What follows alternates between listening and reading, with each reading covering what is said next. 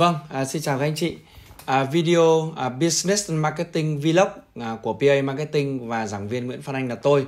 À, tiếp tục trong cái phần nội dung của video này thì tôi sẽ nói về một số những cái lỗi cơ bản trong giao tiếp khi bán hàng. Tôi nhắc lại đây là lỗi cơ bản trong giao tiếp khi bán hàng. À, khi bán hàng thì có hai cái nhóm mà bán hàng bây giờ chúng ta thấy rất là khác nhau. Thứ nhất là bán hàng trực tiếp gặp một một à, ví dụ như tư vấn bất động sản hay là bán quần áo tại shop hay là bán tại nhà hàng hay là tại các cái điểm bán ừ, của các siêu thị các trung tâm thương mại vân vân đúng không? Thế thì ờ, cái nhóm thứ hai đấy là nhóm bán hàng online. Bán hàng online tức là mình tư vấn qua chat hoặc là tư vấn qua điện thoại thì chúng ta phải làm như thế nào? Thì ở đây chúng ta sẽ tập trung vào các cái nhóm mà tư ờ, giao tiếp trực tiếp. Giao tiếp trực tiếp tức là ờ, chúng ta trò chuyện chúng ta tư vấn cho khách hàng uh, khi mà chúng ta gặp mặt đối mặt như thế này đúng không? Thế thì các cái lỗi cơ bản chúng ta thường gặp là gì? Ở đây thì có thể là dạ, chúng ta quá là sao nhãng đúng không ạ? Sao nhãng. Nếu mà chúng ta giao tiếp với khách hàng tại một khu vực mà nó rất là ồn ào náo nhiệt âm thanh tiếng động to thì chúng ta thấy rất là khó nói chuyện thì chúng ta nên chọn những địa điểm nó có tính chất riêng tư nhẹ nhàng yên tĩnh hoặc là những cái không gian nó cũng phải lang, à, sang trọng lịch sự một chút. Thí dụ như là các bạn có thể mời khách hàng đến à, quán cà phê của khách sạn 5 sao à, để nói chuyện thì cái chi phí uống cà phê nó cũng không quá đắt đỏ mà lại cái hiệu quả nó rất là cao nó tạo được cái cảm giác hoành tráng nó tạo được cái cảm giác tin cậy cho khách hàng. Tôi ví dụ như tôi rất là hay uống cà phê ở khách sạn Crown ở Lê Thọ hay là khách sạn JW Marriott ở đường Đỗ Đức Dục. Đó thì tôi nghĩ là đấy là một cái giải pháp tốt. Cái một cái ly cà phê nó cũng chỉ hơn trăm ngàn bạn lại gửi xe ô tô không mất tiền. À, rất là hiệu quả đúng không? Vâng. À, thế rồi thứ hai nữa là chúng ta không chuẩn bị kỹ à, những cái chúng ta cần trình bày. Ví dụ như là hợp đồng này hay các talog này hay bảng báo giá này hay là các minh chứng về kết quả này hay các nghiên cứu này à, các chứng nhận chứng từ này. Tôi hay gọi đấy là cái bộ sale kit tức là những cái bộ tài liệu để bán hàng à, chúng ta không chuẩn bị kỹ từng thứ từng thứ từng thứ một. Đấy thì cái phần này tôi cũng dạy các bạn rất là kỹ trong bộ khóa học King of Sale. À, bộ khóa học video gồm hai phần rất là cơ bản và nâng cao cực kỳ chuyên nghiệp của chúng tôi. Đấy thứ ba là chúng ta cung cấp quá nhiều thông tin chúng ta nói quá nhanh. À, chúng ta nói quá nhiều rồi thì chúng ta ngắt lời khách hàng đúng không ạ? Và chúng ta làm cho khách hàng là à, cảm thấy chán nản không muốn giao tiếp với chúng ta chúng ta độc thoại bởi vì chúng ta đang sợ là khách hàng không có đủ thông tin. Chúng ta liên tục liên tục liên tục bơm thông tin cho họ.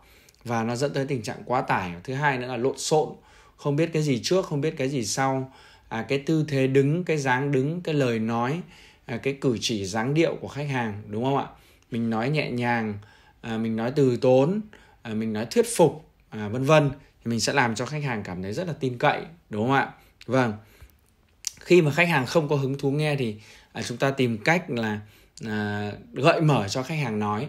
À, chúng ta lắng nghe chúng ta khen và chúng ta tìm những cái điểm chung. Ví dụ như là vợ chồng con cái thời tiết hay là giao thông hay là cách kiếm tiền hay là sức khỏe hay tập gym vân vân để chúng ta bắt đầu lại khơi gợi cái sự hứng khởi. Hoặc là mình cảm thấy mà khó khăn quá thì thôi không bàn nữa để hôm khác bàn.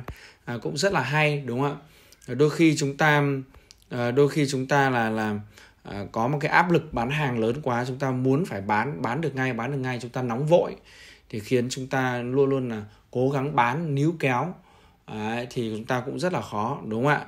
À, thế thì chúng ta nên bán hàng một cách tự nhiên bán hàng như hơi thở bán hàng bằng cái chất lượng sản phẩm tốt bằng cái sự uy tín của mình bằng cái đạo đức nghề nghiệp và bằng những cái cam kết mạnh mẽ. Đấy thế thì chúng ta sẽ nhớ rằng là khi mà chúng ta giao tiếp thì chúng ta phải làm cho họ cảm thấy thích cảm thấy tin cảm thấy ờ, ví dụ như nói chuyện với anh Phan Anh anh ấy rất là thông minh cái gì anh cũng biết và anh ấy tâm lý anh ấy hiểu anh ấy lúc anh ấy nâng lúc anh ấy xuống lúc anh ấy lên lúc anh ấy uh, trầm kiểu như vậy để cái quá trình giao tiếp nó trở nên hấp dẫn. À, rồi thì có thể mình nói chuyện về gia đình mình nói chuyện về những cái chuyện tình cảm để mình thấu hiểu nhau hơn. Người việt đi với nhau bằng cái cách như vậy có thể nói chuyện về gia đình này con cái này tình yêu này hôn nhân giới tính này thì cũng rất là hay đúng không? À, hoặc là trong quá trình mà chúng ta giao tiếp với khách hàng thì chúng ta à, sử dụng quá nhiều các khái niệm các thuật ngữ phức tạp. Mà thật ra khách hàng thì muốn đơn giản thôi đúng không ạ?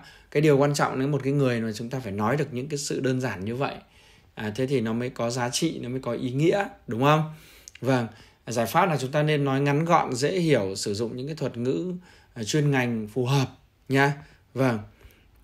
Đấy, và ngôn từ thì chúng ta cũng có thể sử dụng ờ, thơ ca chúng ta cũng có thể sử dụng à, những cái minh họa. Đặc biệt là chúng ta sử dụng những cái bản catalog cái video để chúng ta minh họa cho những cái vấn đề khó khăn thì người ta rất là dễ hiểu. À, chúng ta minh chứng chúng ta so sánh các lợi ích các giá trị. À, thì các bạn có thể xem thêm những cái bài học khác của chúng tôi trên vlog hoặc là các cái khóa học.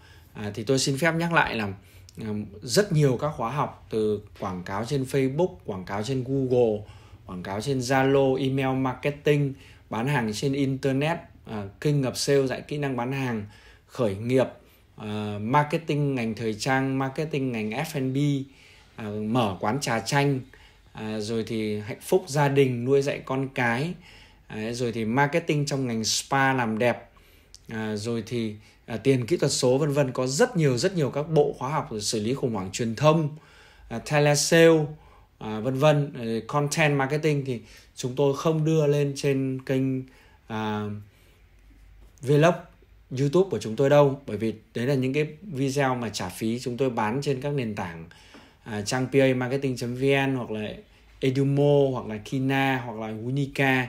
Đấy là những cái nền tảng họ bán những cái bộ video và tôi khẳng định với các anh chị và các bạn là những cái bộ video rất là tốt chất lượng logic và luôn luôn cập nhật mới. Thế thì các bạn có thể xem thêm những cái bộ video như vậy. À, thế còn những cái vlog này thì chúng tôi sẽ thường là sẽ lấy một số những cái nội dung cụ thể một cái nội dung rất nhỏ để chúng tôi chia sẻ với anh chị các anh chị học thêm. Và khi mà các anh chị muốn học logic học bài bản học chuyên nghiệp thì các anh chị sẽ nên mua hoặc các cái bộ khóa học hoặc là các cuốn sách à, của tôi viết hoặc là các cái chương trình tôi tư vấn đào tạo in-house cho doanh nghiệp một lần nữa xin được cảm ơn các anh chị và các bạn rất nhiều.